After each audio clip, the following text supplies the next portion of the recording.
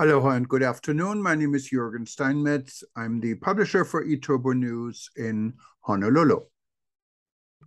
Today's story is our latest article published on eturbonews.com. If you wanted to read this article, go to eturbonews.com or travelnews.online.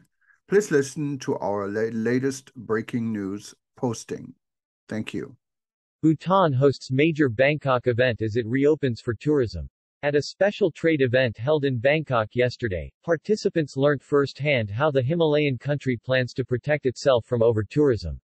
In his presentation at the Sukosol Hotel in Bangkok in front of a large audience of invited guests from Thailand's travel community, He Kinzang Dorji, ambassador of Bhutan in Thailand, unveiled a new tourism strategy, announcing the Kingdom of Bhutan reopens its borders to international guests following the COVID-19 pandemic.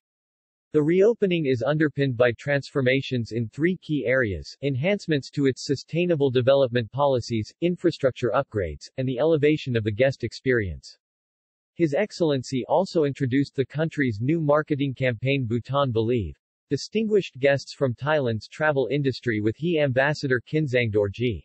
Bhutan's noble policy of high-value, low-volume tourism has existed since we started welcoming guests to our country in 1974. But its intent and spirit were watered down over the years without us even realizing it. Therefore, as we reset as a nation after this pandemic and officially open our doors to visitors today, we are reminding ourselves about the essence of the policy, the values and merits that have defined us for generations, said He Dr. Lotay Tshering, Prime Minister of Bhutan in his global message issued this week from Bhutan. Karma Lotey, CEO Yangphel Travel Thimphu and Zhiwa Hotel, Paro. Thank you for listening to our latest article on eTurbo News. If you wanted to submit news or you have something you wanted to tell the world, go to breakingnewseditor.com.